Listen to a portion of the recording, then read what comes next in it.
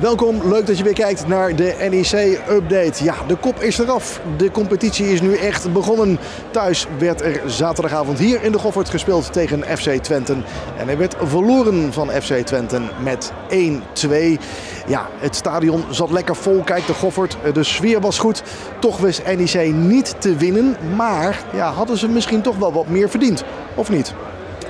Uh, ja, meer verdiend dan uh, verliespartij denk ik wel.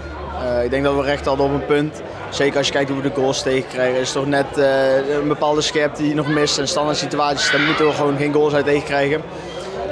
los van dat aanvallende voetbal was wat we wilden laten zien. Initiatief nemen aan de bal, veel energie in het spel leggen. En dat was wel zoals we het graag willen.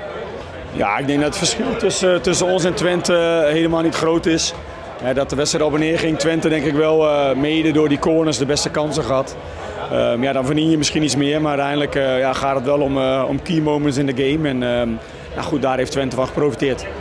Ja, en je geeft uh, eigenlijk twee doelpunten makkelijk weg. Ja, daar bedoel ik daar ook mee. de eerste maken we niet de goede keuze in het verdedigen, twee keer. En bij de tweede staan we niet op te letten bij een cornerbal. Ehm, ja, en daartussendoor denk ik dat we ons heel behoorlijk hebben gemeten aan, aan Twente. En ja, dan zijn deze momenten wel beslissend in de wedstrijd. Ja, uh, eigenlijk iets wat je ook al in de voorbereiding zag. Hè? Dat vaak de doelpunten nog wat makkelijk weg worden gegeven. Waar ligt dat aan? Ja, dat is moeilijk. Uh, ik denk dat je uh, ziet dat het ook bepaalde keuzes zijn. Dus dat is altijd lastig. Hè? Dat is ja, organisatie staat en daar moet je dan in gaan kiezen wat je als speler doet. En het heeft misschien ook te maken met de kwaliteit van Twente. daar heeft het ook mee te maken. dus ja, weet je, daar zullen we naar kijken. Dan moet weer beter richting zaterdag. Zeg, zeker in de eerste helft deden jullie niet onder. Nee, uh, natuurlijk hun hadden wel die bal op de lat dan.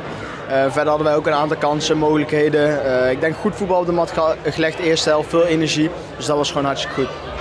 Toch kan ik me ook wel voorstellen dat je ook wel tevreden bent over een aantal punten wat je vandaag gezien hebt. Ja, ik heb de eerste helft echt genoten. Echt een half uur lang ja, spelen wij Twente eigenlijk achteruit aan de bal. We hebben heel veel beweging, zijn we heel dominant aan de bal. Ja, daarna werd het weer iets minder en het laatste half uur hebben we denk ik ook alles gegeven om een punt te halen. Dan ga je wisselen, dan ga je het op een iets andere manier doen. Uh, ja, daar heb ik wel van genoten. Er staat een ploeg met vertrouwen, er staat een ploeg met lef, een ploeg met energie. vorig jaar lag iedereen met kramp. Nou, je hebt vandaag gezien hoe we er nu voor stonden. Dus dat zijn dingen waar ik van genoten heb en waar ook een basis is voor de toekomst. Ja, en dan is de vraag, heeft Bart van Rooij de laatste wedstrijd hier in het shirt van NEC in de Goffert gespeeld? Bart? Nee, ik wil er ook niet te veel over zeggen. Ik heb er gisteren in een interview over verteld. Uh, de situatie is ook niet veranderd ten opzichte van toen. En we hebben ook gezegd, voor deze wedstrijd willen we geen contact hebben met, uh, tussen beide ploegen. Dus uh, ja, daar wil ik het ook gewoon bij laten. Nee, maar het moet je natuurlijk wel strelen als een club als Twente komt natuurlijk. Ja, het is een mooie club. spelen op Europees niveau, dus dat is hartstikke mooi. maar zoals ik al zei, de toekomst ligt nu bij NEC en we gaan zien wat de toekomst ja, betekent nooit een geheim van gemaakt dat je natuurlijk ook wel een stap wil maken. Hè? Ja, natuurlijk. Ik ben een voetballer met ambities. Uh, ik zou graag vroeg of laat een keer een stap willen maken. Uh, en of dat deze zomer is, geen idee. Nou weet ik, in voetbal gaat het altijd heel snel. Dus toch wil ik je alvast bedanken voor alles. geen probleem. Goed, afwachten dus. Maar uh, het lijkt erop dat Bart van Rooij dus gaat vertrekken richting Enschede naar FC Twente. De komende week zal daar waarschijnlijk meer duidelijkheid over komen. Dan nog even naar trainer Rogier Meijer. Ja, want er waren natuurlijk ook een aantal spelers die uh, voor het eerst eredivisie speelden. En dat deden ze best aardig. Ja, nee, mooi. Het uh, is niet makkelijk voor de jongens. Hè. Je moet meteen beginnen en je speelt niet tegen de minste tegenstander in de goffert. Er zit er meteen druk op. Uh, ja, als je dan ziet hoe die jongens zich weren, als je ziet uh, uh, welke arbeid ze leveren, maar ook welke kwaliteit ze leveren, nou, dat is een goede start. Ja. Wat wel ook toch eh, wel goed zichtbaar is, is wat je nog mist. Hè? Voorin gewoon nog stootkrachten. Ja, maar ik heb voor de wedstrijd ook gezegd, ik ben benieuwd hoe we ons gaan meten met Twente. nou, ik denk dat we een heel eind daarmee onderweg zijn. Nou, en als Philip terugkomt, als Koki terugkomt, als er een spits bij komt, ja, dan gaan we nog beter worden.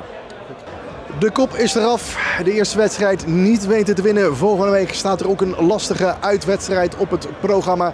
Want dan gaat NEC richting AZ. Nou, daarvoor zijn we er natuurlijk zeker nog. Maandag in ieder geval gaan we weer een nieuwe podcast opnemen. Dus ook live op radio en televisie bij RN7. Later in de week zal die uh, verschijnen op de verschillende platforms. En we zijn er natuurlijk ook weer met de NEC-update later deze week. Meer altijd via mijn social media kanalen. Volg me daar even, ook op TikTok. Leuke filmpjes.